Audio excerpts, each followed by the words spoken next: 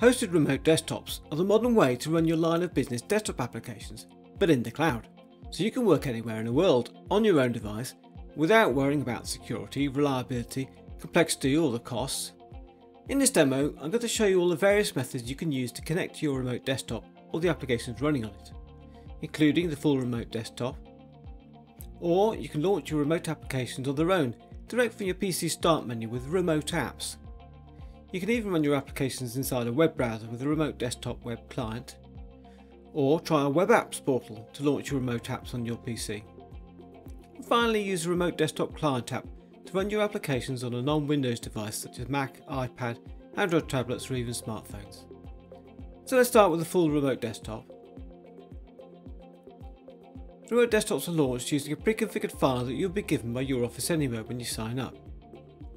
The file securely logs you onto the remote desktop server and presents you with a remote desktop that looks almost identical to a Windows 10 desktop on your PC, but it's actually a Windows 2016 server which allows multiple people to log on at once and share applications and data.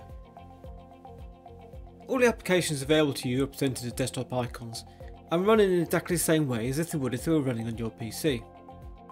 On this demo server we've just installed applications that everyone will be familiar with, where we can install any Windows desktop application that you need to run your business. Every user in your company connects to the same server, so you can share applications and data as if they were running on the local network, but your users could be anywhere in the world.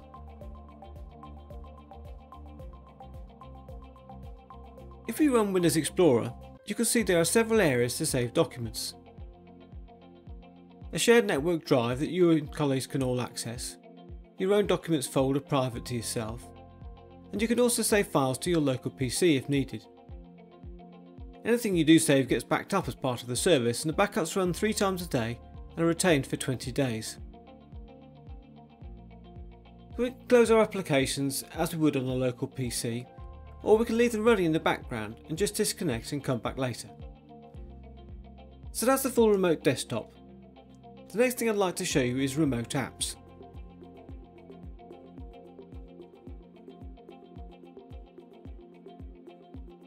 Remote apps are the same applications running on the same remote desktop server, but are presented to the user just as individual applications without the full wrap of the remote desktop, so look and feel a bit more like local applications.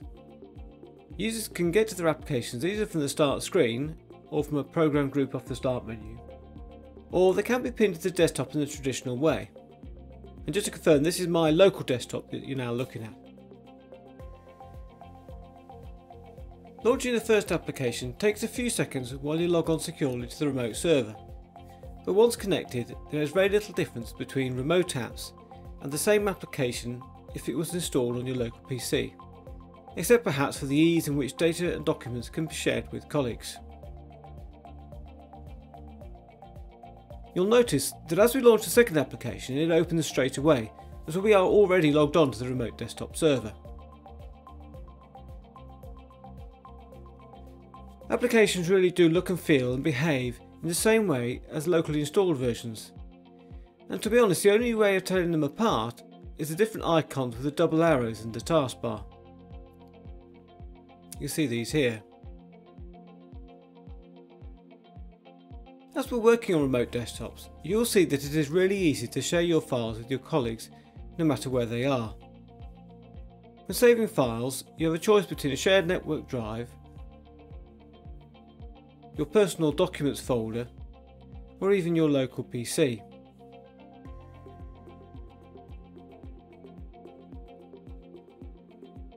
These are the default options, but you can of course have something completely bespoke, and this isn't a one size fits all solution. So we'll close the applications in the normal way. The next thing to show you is the remote desktop web client. This was just released in 2018 and requires modern browsers such as Internet Explorer 11, Edge, Google Chrome or Safari on a Mac. It doesn't yet work on smartphones or tablets, but maybe that is something Microsoft are working on. Users simply go to a web page and then they can sign in with a Your Office Anywhere account.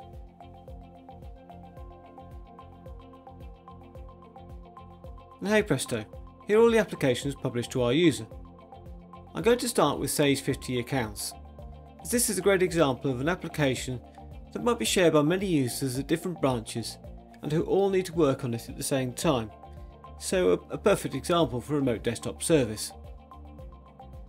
And it's really important to emphasise that this isn't a browser based version of Sage 50, it's not a cloud app like Xero or QuickBooks.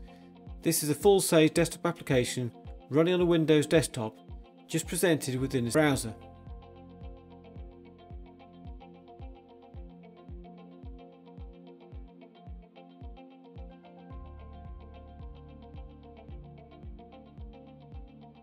Because it's running on a desktop, it can fully integrate with other applications running on that desktop.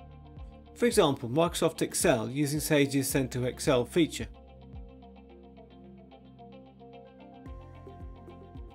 And you'll notice the same file locations for saved documents that we saw in remote apps and remote desktops. It's the same thing. So you could work on a browser using a web client and save a document which your colleague in another site or another country can immediately open while working on a full desktop or remote app. It's easy to switch between applications or to launch new ones. And although everything is limited to working within the browser, it is possible to hide the browser window and the menu bar to, to make it work in the full screen. A quick thing to note about the web client, it doesn't yet have the ability for you to save files to your local PC, possibly because it's device agnostic. Maybe this is something that Microsoft will introduce later on. Just to reiterate, you aren't limited to just one method of connecting. All options are available to you to fit particular circumstances at a particular time. Our next demo is for web apps.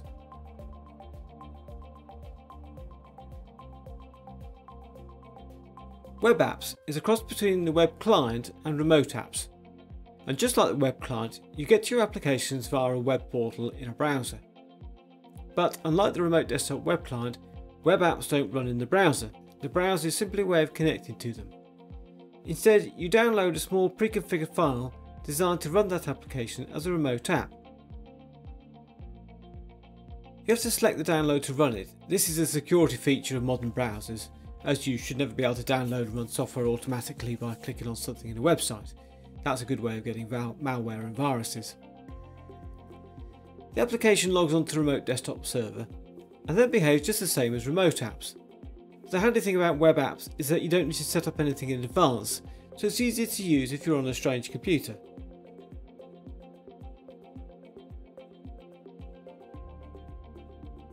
So you'll notice Word here is running in its own window, unlike the web client where it was all running within the browser. The taskbar icons are also the same as remote apps with the two little arrows. And you can, if you want, pin the file that was downloaded to your desktop to make it easier to run the applications in the future. Simply go to the Downloads folder, find the RDP file that was just downloaded and then pin to your desktop. Using this method means you don't need to go to the web apps portal first, you can simply run the programs independent of your browser in the future. However, if this is a computer you use a lot for your remote applications, then I suggest setting up remote apps rather than web apps. You get the proper icons and the apps are all added to your start menu.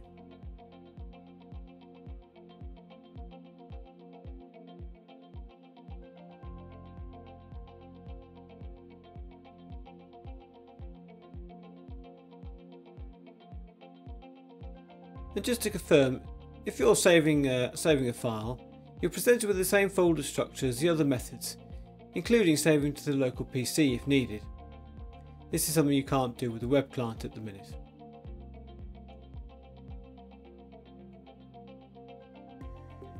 Okay, that's web apps. The final connection method to your remote desktop server is a Microsoft Remote Desktop Client app the app is available free from Google Play, Apple Store and Microsoft Store, although to be honest if you're running on a PC the full remote desktop or remote apps are a better way of connecting. By default you can't download files to your local device with the remote desktop client app. Here we're showing it running on an Android smartphone, but could equally be an iPhone, iPad or Android tablet. So again, this is Word running on a Windows remote desktop presented through your phone or tablet. It isn't a Word app running on the smartphone like you might get with Office 365, so it isn't optimised for running on a tablet or a phone, but it does have the full desktop functionality and features of Word running on a PC. It's obviously never going to be as easy to use as it would be running on your PC or a Mac, but it is handy when all you have with you is your phone. And the same settings you would configure for this app can also be used for third-party remote desktop client software for things like Linux devices, Chromebooks, thin client terminals, those kind of things.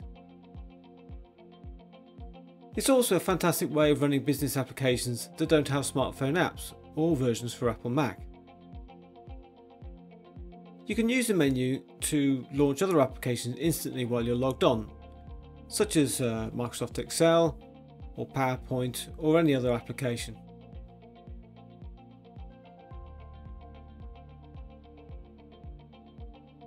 And once the application is running, you can very easily switch between the applications.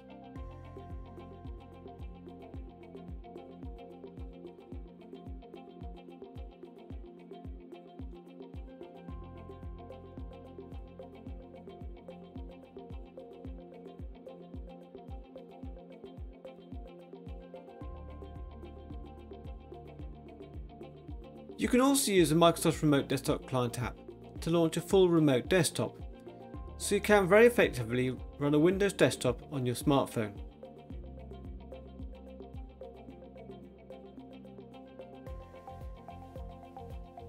Here's our desktop with the familiar applications. And here's an Access application running on the remote desktop on your smartphone.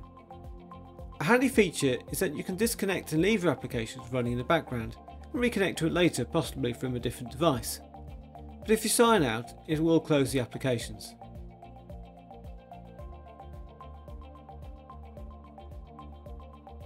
Okay, that's Microsoft Remote Desktop Client app, which is the last of our connection methods in this demo.